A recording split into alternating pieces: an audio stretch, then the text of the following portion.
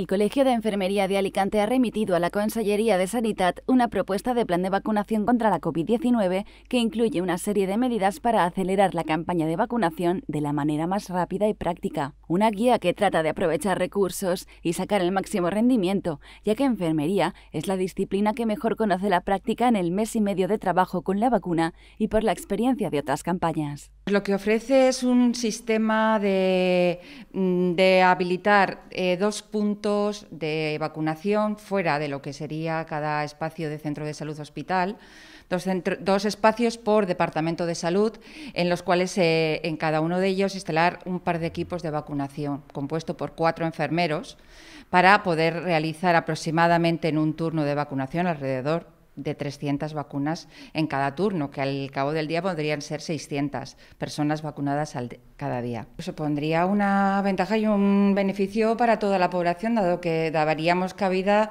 a que antes del verano pues estuviera vacunada eh, un alto porcentaje de, de personas. Para este objeto sería necesario contar con al menos dos puntos de vacunación externos a los 108 centros sanitarios públicos alicantinos. Espacios comunitarios que no sean centros de salud ni hospitales.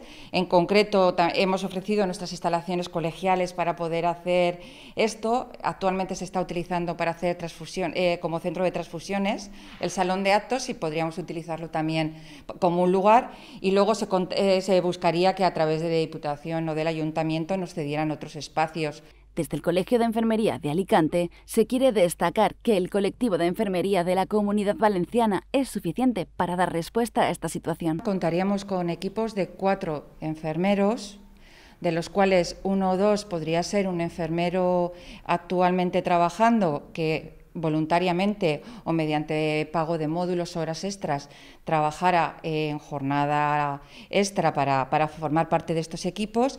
Y luego contamos con una bolsa de trabajadoras y trabajadores eh, eh, jubilados que de forma voluntaria se han apuntado y están esperando a que se les llame para poder trabajar. También podríamos contar con los alumnos de tercero y cuarto grado de enfermería. Un trazado en el que la responsabilidad recae en la disponibilidad de vacunas. Haciendo una estimación, tomando de base y de referencia un centro de salud de, una, de un departamento, de un área de salud básica de, la provincia de Alicante, que son 25.000 habitantes, hemos calculado que el 60% de la población estaría entre esa edad de 16 a 60 años.